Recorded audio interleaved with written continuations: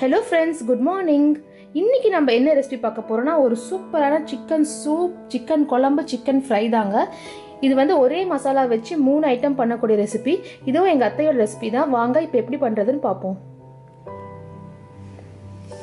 இப்போ சிக்கன் குழம்பு பண்ணுறதுக்கு தேவையான பொருட்கள் என்னென்னு பார்ப்போம். ஃபஸ்ட்டு வந்து நம்ம மொத்தம் மூணு மசாலா அரைக்க போகிறோங்க இந்த சிக்கன் குழம்புக்கு. ஃபர்ஸ்ட் வந்து பார்த்திங்கன்னா இஞ்சி பூண்டு பச்சை மிளகா கரு கொத்தமல்லி தழை. இது வந்து தனியாக அரைச்சி எடுத்துக்க போகிறோம் இஞ்சி இஞ்சியும் பூண்டும் ஒரு நூறு நூறு கிராம் அளவு எடுத்திருக்கேன். அப்புறம் பச்சை மிளகா ஒரு பத்து பச்சை மிளகா. கொத்தமல்லி வந்து ஒரு கைப்பிடி அளவு. வறுத்த அரைக்கக்கூடிய மசாலா பார்த்தீங்கன்னா தனியாக ஒரு ஒன்றரை டேபிள் ஸ்பூன் ஒரு சின்ன பீஸ் பட்டை ஒரு மூணு லவங்கம் ஒரு அரை டீஸ்பூன் கசகசா ஒரு டீஸ்பூன் சீரகம் ஒரு டீஸ்பூன் சோம்பு ஒரு டீஸ்பூன் உளுந்து அப்புறம் ஒரு டீஸ்பூன் அரிசி. நாலே நாலு வர மிளகாங்க அப்புறம் கருவேப்பிலை இதுக்குள்ளேயே நம்ம வந்து வறுத்து அரைக்க போகிறோம் வெங்காயம் வந்து தனியாக வறுத்து இது கூடயே சேர்த்து அரைக்க போகிறோம் அப்புறம் மூணாவது மசாலா பார்த்தீங்கன்னா தேங்காவும் பொட்டுக்கல்லையும் தேங்காய் ஒரு மூணு டேபிள் ஸ்பூன் பொட்டுக்கல்ல ஒரு டேபிள் ஸ்பூன் எடுத்திருக்கேன். இதெல்லாம் பார்த்தீங்கன்னா ஒரு கிலோ சிக்கன் அளவுக்கு. இந்த கிரேவி பார்த்தீங்கன்னா நாட்டுக்கோழிக்கு ரொம்பவே சூப்பராக இருக்குங்க. நீங்கள் நாட்டுக்கோழி கிடச்சிட்டா தாராளமாக நாட்டுக்கோழி ட்ரை பண்ணி பாருங்கள் ரொம்பவும் நல்லாயிருக்கும் டேஸ்ட் ஸோ இப்போ வந்து நான் இந்த ஃபர்ஸ்ட் மசாலாவை இந்த மிக்சி ஜாரில் ட்ரான்ஸ்ஃபர் பண்ணிக்கிறேன். ஃபர்ஸ்ட் இதை அரைச்சி எடுத்துக்கலாம். மசாலாலாம் வறுக்கிறதுக்கு நான் இந்த பேன் எடுத்துருக்கேங்க. பேன் சூடானதுக்கப்புறம் கொஞ்சமாக ஒரு ஒரு டீஸ்பூன் எண்ணெய் ஊற்றிக்கலாம் ஃபஸ்ட்டு நான் பட்டையும் லவங்கமும் போடுறேன். இது பொரி இது பொரிய ஆரம்பித்தோடனே மற்றதெல்லாம் போட்டுக்கலாம். ஸோ இது இது லைட்டாக பொரியுது. இந்த ஸ்டேஜில் நம்ம எல்லா மசாலாவையும் ஆட் பண்ணிக்கிறேன்.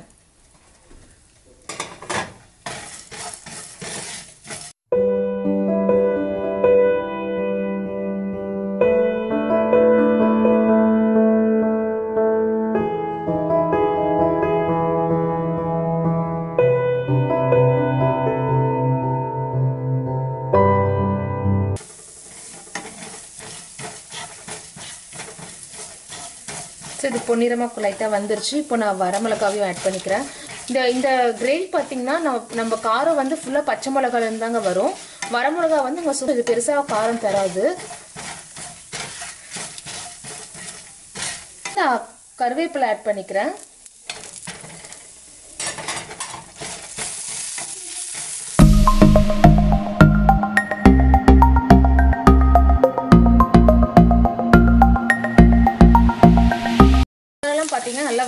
நல்லா இதை வந்து நம்ம பிளேட்டில் ட்ரான்ஸ்ஃபர் பண்ணிக்கலாம்.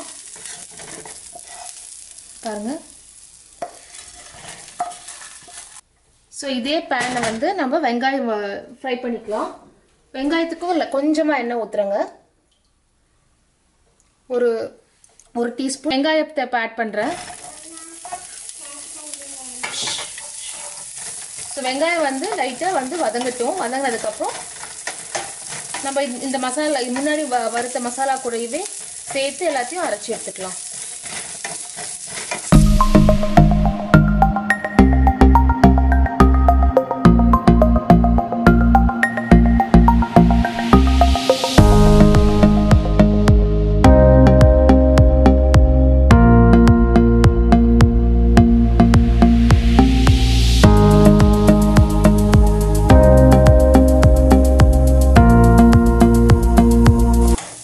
வெங்காயம் பார்த்தீங்கன்னா நல்லா ஃப்ரை ஆயிடுச்சுங்க. இதையும் வந்து நான் அதே பிளேட்டில் ட்ரான்ஸ்ஃபர் பண்ணுறேன் இந்த மசாலா பார்த்தீங்கன்னா நல்லா ஆற விட்டு நம்ம மிக்சியில் போட்டு அரைச்சி எடுத்துக்கலாம்.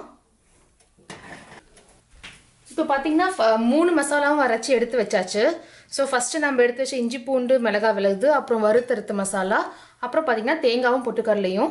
நான் அரைச்சி வச்ச மூணு மசாலாலையும் ஒவ்வொரு டேபிள் ஸ்பூன் எடுத்து வச்சுருக்காங்க. இது எதுக்குன்னா நமக்கு தனியாக சிக்கன் வந்து ஃப்ரை பண்ண போகிறோம் அதுக்கு தான் ஸோ சிக்கன் குழம்பு பண்ணுறதுக்கு நான் இந்த மாதிரி ஒரு பேன் எடுத்து வச்சுருக்கேன். ஸோ இதில் பார்த்தீங்கன்னா ஒரு அஞ்சு டேபிள் ஸ்பூன் அளவுக்கு எண்ணெய் ஊற்றிக்கோங்க இப்போ பார்த்தீங்கன்னா எண்ணெய் நல்லா சூடாயிருச்சு. நான் அரை அரைச்சி வச்ச இஞ்சி பூண்டு பச்சை மிளகாய் விழுது.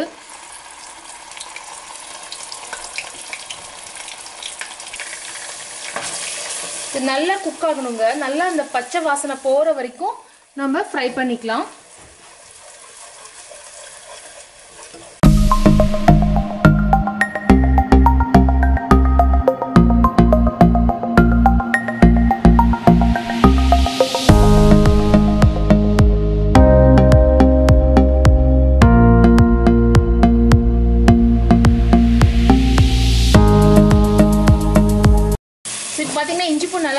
நல்லா நம்ம வந்து சிக்கன் ஆட் பண்ணிக்கலாம். இந்த சிக்கன் ஆல்ரெடி வந்து உப்பு மஞ்சளும் போட்டு கழுவி கழுவி வச்சுருந்தாங்க. அந்த சிக்கன் தான். ஸோ இது வந்து ஒரு ஒரு- ஒரு ஒரு கிலோ அளவு இருக்கிற சிக்கன் சொன்ன மாதிரி நாட்டுக்கோழி கிடைச்சாலும் இதில் ட்ரை பண்ணி பாருங்கள் ரொம்ப நல்லா வரும்.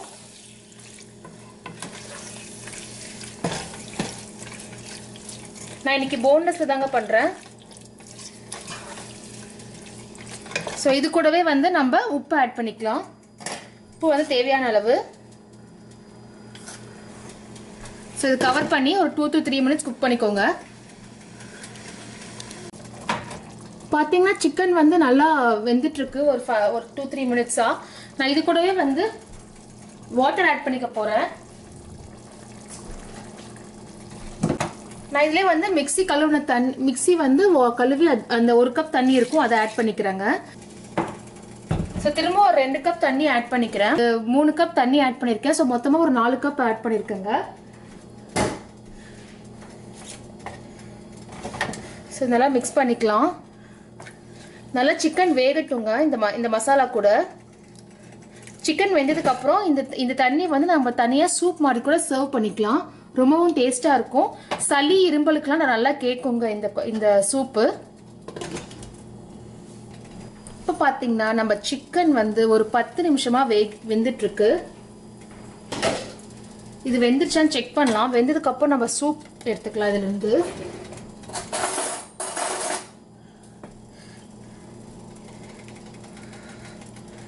ஸோ சிக்கன்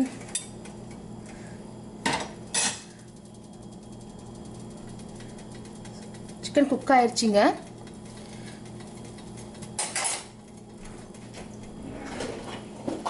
ஸோ நம்ம வந்து இந்த மாதிரி ஒரு பவுலில் சூப் சர்வ் பண்ணிடலாம்.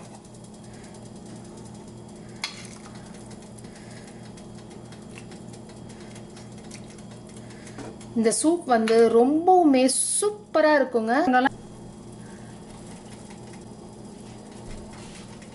நம்ம இது கூட இப்ப செகண்ட் மசாலாவை ஆட் பண்ணிடலாம்.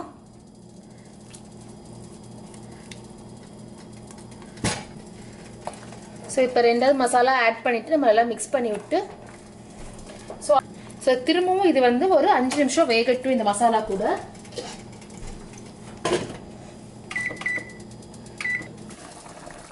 இப்போ நம்ம அரைச்சி ஊற்ற மசா மசாலா வந்து நல்லா அதுவும் குக் ஆயிடுச்சிங்க லைட்டாக டேஸ்ட் பண்ணி பார்த்துக்கோங்க எந்த பச்சை வாசனை வர வருதான்னு. தேங்காய் பொட்டுக்கடலை பேஸ்ட் அரைச்சி வச்சுருக்கோம்ல அதை ஆட் பண்ணிக்கலாம்.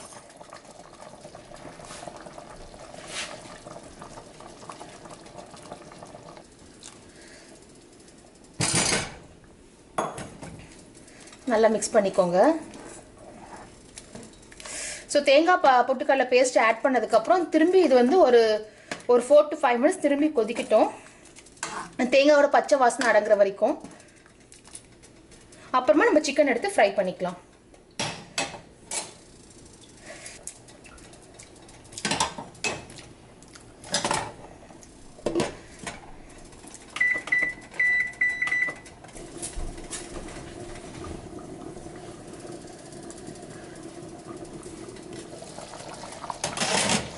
கடைசியாக நம்ம சால்ட் பார்த்துக்கலாம் கரெக்டாக இருக்கான்னு. எல்லாம் பர்ஃபெக்டாக இருக்குங்க. நம்ம குழம்ப வந்து இறக்கிடலாம். குழம்பு ரெடி ஆயிடுச்சு. அதுக்கு இந்த மா அது சிக்கன் ஃப்ரை பண்ணுறதுக்கு இந்த பேன் எடுத்திருக்காங்க. இதில் வந்து ஒரு ரெண்டுலேருந்து மூணு டேபிள் ஸ்பூன் எண்ணெய் ஊற்றிருக்கேன் எண்ணெய் சூடானதுக்கப்புறம் எண்ணெய் சூடானதுக்கப்புறம் நான் ஒரு அஞ்சு பச்சை மிளகா அதை ஆட் பண்ணிக்கிறேன். இது பொரியட்டும். ஸோ பச்சை மிளகாய் நல்லா பொரிஞ்சிருச்சு. இந்த டைமில் வந்து நான் ஃபஸ்ட்டு மசாலா ஆட் பண்ணிக்கிறேன். ஸோ இஞ்சி பூண்டு பச்சை மிளகாய் விழுது.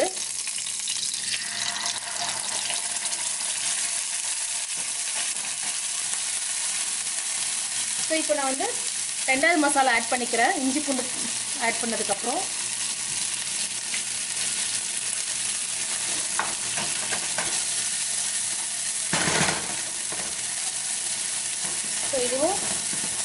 லைட்டாக மிக்ஸ் பண்ணி ஸோ இதுவும் நல்லா குக் ஆயிடுச்சு இப்போ நான் மூணாவது மசாலா ஆட் பண்ணிக்கிறேங்க. தண்ணி ஆட் பண்ணிக்கிறேன்.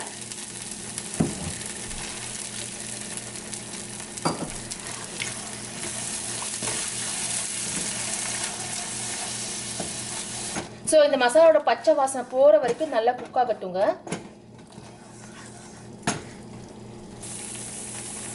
ஸோ நம்ம சிக்கன் பீஸ் எல்லாமே நம்ம இதில் இது கூட சேர்த்துக்கலாம்.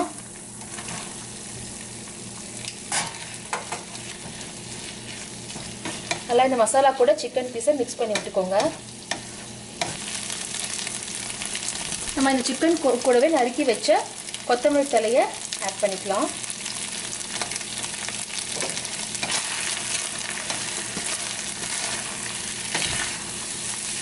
அவ்வளோதாங்க நம்ம சுவையான சிக்கன் குழம்பு ரெடி ஆயிடுச்சு சிக்கனும் ரெடி ஆயிடுச்சு சூப்பும் ரெடி ஆயிடுச்சு ஸோ ஒரே மசாலாவில் நம்ம மூணு ஐட்டம் பண்ணிட்டோம் இன்னைக்கு. இப்போ இதை நம்ம சர்வ் பண்ணிட்டோம் நம்ம சிக்கன் குழம்பு சிக்கன் சூப் எல்லாமே நம்ம சர்வ் பண்ணிட்டோம்.